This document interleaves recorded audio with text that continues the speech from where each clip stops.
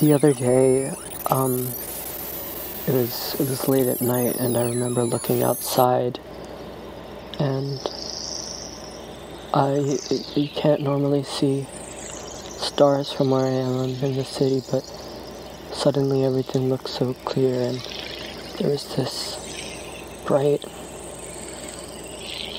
bright, white, blinding light that sort of took up the entire landscape and I I just couldn't help I'm sorry. I I just couldn't help but think